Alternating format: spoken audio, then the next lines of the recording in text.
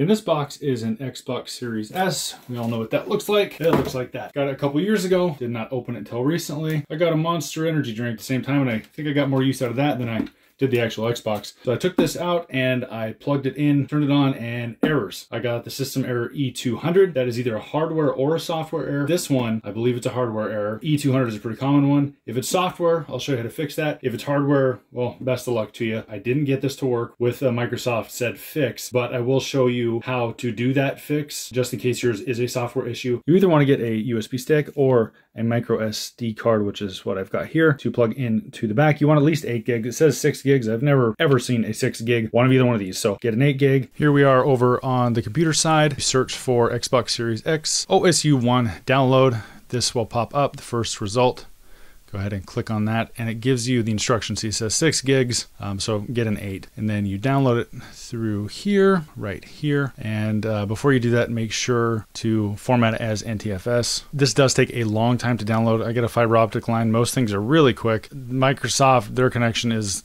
not very fast apparently because this took an hour or so. Right here is the one that I've got in there, the USB. You go to format and make sure it's NTFS allocation you can click default or whatever you want and the capacity you can't change then you can just do a quick format click, click start i'm not going to do that because the file is already on there once that is done go over to your downloads wherever that may be and osu1 and you copy that drop it onto here which i've already done you then just eject. I'm going to show this just on the small monitor so I can have the Xbox right there. This thing is pretty tiny. Go ahead and boot the Xbox up.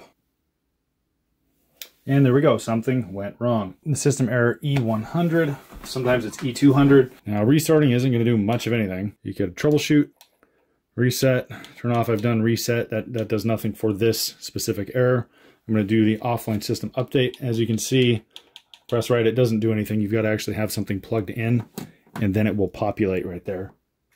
So plug this into the back and that becomes available offline system update. And go ahead and press A and this may or may not work for an E200 or E100 error. It doesn't work for this specific error. I do believe this is a hardware error. And to send it to Microsoft would be slightly less than what I paid for the console. It'll do an update. Sometimes it'll go through, sometimes it won't. If it's an E200 error, this uh, may work. If it's an E100, it may not. So there's really no telling until you try to do this. But on this Xbox, it does not work. That's how to hopefully fix your Xbox if you're seeing one of those errors. I hope this helps somebody. Thank you for watching.